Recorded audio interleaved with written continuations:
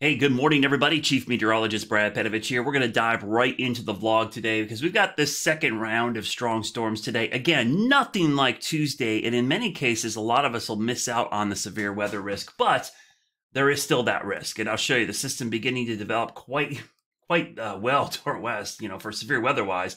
That's a pretty potent system. I'm going to turn some of the warnings on just so you can see uh, what's going on to our west. I'll pause it here. You can see this line does have a tornado watch associated with it and a couple tornado warnings and severe thunderstorm warnings. And yes, those are all cloud to ground lightning strikes currently. Let's look at the day one severe weather outlook. You can see what's going to be heading our way as we go into the afternoon. We'll turn that uh, area on. You see the higher risk back where the tornado watch is, but once you get into Carolinas, excuse me, no, choked up there. Um, you can see that the risk is low to medium for most of our area. And the real, the biggest concern, honestly, is going to be these areas right in here. Um, the further north and west you go, you're going to be kind of wedged in with cold air. And today's a day where cold air is our friend. In fact, I'm going to turn the temperatures on right now and we'll show you temperatures over our area are nice and chilly this morning. So the longer those hold on, the better. That warm air surges up from the south. That's when we get into trouble. So let's get to the futurecast right away. So here we are, Futurecast, 9 a.m. You can see the system slowly pushing east. I'll stop this around noon. So through the first half of the day, no issues at all. Um, really kind of that cold air winning out. But as we get into the afternoon, you start to see the moisture move in. Now, this is the big million dollar question for us as a meteorologist is where are we going to see that warm air surge? Because somewhere in here, there's going to be a warm front that's going to be drifting north. And if you want to kind of monitor how this goes without looking at some of the atmospheric parameters, look at the temperature. If the temperature starts getting close to 60 where you are, then that's an area where of greatest concern. So by four o'clock, I expect we'll be in the rain. There'll be rain here. Now, the area where the warm front is will be key because it'll be just regular rain, no issues. But where the warm front is in south, we call that the warm sector, that's where we possibly would have some severe weather risk. And I think right now, just looking at the way this sets up, it's somewhere in here.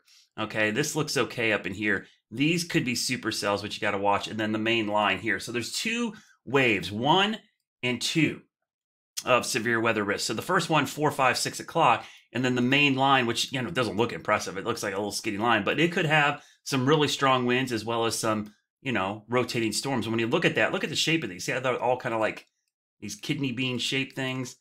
Uh, that's an indication of straight line winds and possible rotation in that line. And then it pushes to the east by 10 o'clock. By 11, it's off to the east. So let's go back to the timing here. We'll stop it right here. First waves of rain around 4 or 5 o'clock. Severe weather risk heightens around 5, 6, 7 o'clock. And then a second line moves through around 8, 9, 10 o'clock this evening. So let's get into some of the parameters real quickly. Um, I don't want to go to Google. We'll go right here to the, the tornado parameter. And again, let me move this up just a hair so you could see this you can see this is the significant tornado parameter. So we'll go into the afternoon. This is one o'clock, two o'clock, three, four, five, six, seven, eight o'clock. So it looks like the line is the one that is really pulling up some of these, um, some of the fuel.